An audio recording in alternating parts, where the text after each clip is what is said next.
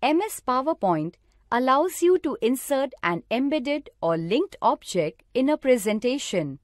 Let's see how. Open Presentation 1 and select Slide 3. Then, click on the Insert tab and from the text group, click on Object. The Insert Object dialog box appears. Now, select the Create from File option and click on the Browse button.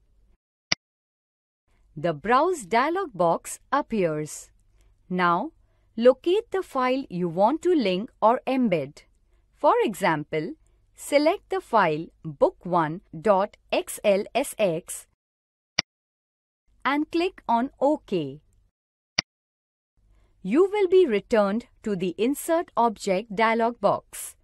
To insert a file as a linked object, select the Link checkbox. To display the file as an icon in the presentation, select the Display as Icon checkbox. Click OK. The spreadsheet file appears in the selected slide. In the normal view, double-click the embedded file to open it. You can open an embedded or linked file in Presentation View. Select the file. On the Insert tab, from the Links group, click on Action. In the Action Settings dialog box, select either the mouse click or mouse over tab to open the file using a mouse click or by placing the pointer over it. Select Object Action.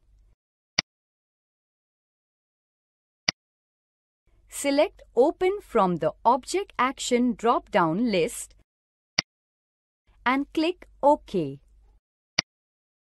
Alternatively, once inserted, click and drag the embedded or linked object to move it to the desired location on the same slide.